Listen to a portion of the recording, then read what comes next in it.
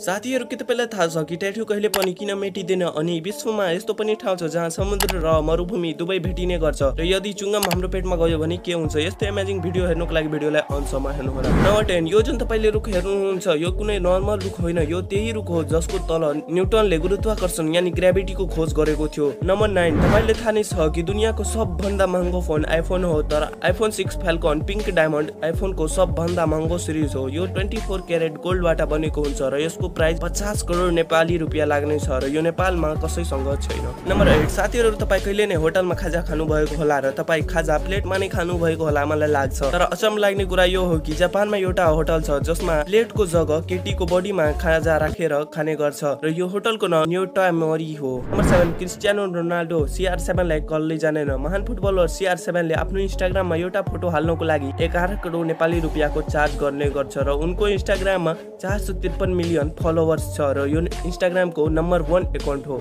तपाईँलाई थाहा छ कि युट्युबमा भएको सबभन्दा लामो video five hundred ninety six hours thirty minute twenty सेकेन्डको हो। यदि तपाईँ यो भिडियोलाई दिउँसो र राति ननस्टप हेर्नुहुन्छ भने तपाईँलाई यो भिडियो हेर्नुको लागि ट्वेन्टी फाइभ डेज लाग्नेछ। नम्बर फाइभ साथीहरू ट्याटु बनाउनको लागि इङ्कले भरिएको सानो सानो सुईहरूको प्रयोग गरिन्छ र यो सुई हाम्रो शरीरमा माथिल्लो लेयर इपिडर्मिसको भित्र छिरेर डर्मिससम्म जान्छ जसले गर्दा हाम्रो स्किनलाई ड्यामेज गर्छ र तपाईँलाई थाहा नै छ जहाँ स्किन ड्यामेज हुन्छ त्यहाँ माइक्रोफेज पुगिहाल्छ र माइक्रोफेजले इङ्कलाई हटाउने अभ्यास गरिन्छ किनभने उसको लागि यो इङ्क बाहिरको हुन्छ र यो सेल्स स्मल हुनुको कारण यो केही इङ्कलाई सोक्न सक्छ र बचेको इङ्क स्किनको डर्मिसमा भएको माइक्रोब्लास्टबाट सोखिहाल्छ र यो दुवै सेल्स हाइब्रोब्लास्ट र माइक्रोफेज दुवै डर्मिसमा बसिहाल्छ र एपिडर्मिसमा सोकेको इङ्क मेटिहाल्छ र माइक्रोफेजमा भएको इङ्क लामो समयसम्म चल्छ। जब यो सेल्स मर्छ भने यसको ठाउँमा न्यू सेल्स आउँछ जसले गर्दा ट्याटु कहिले पनि मेटिँदैन।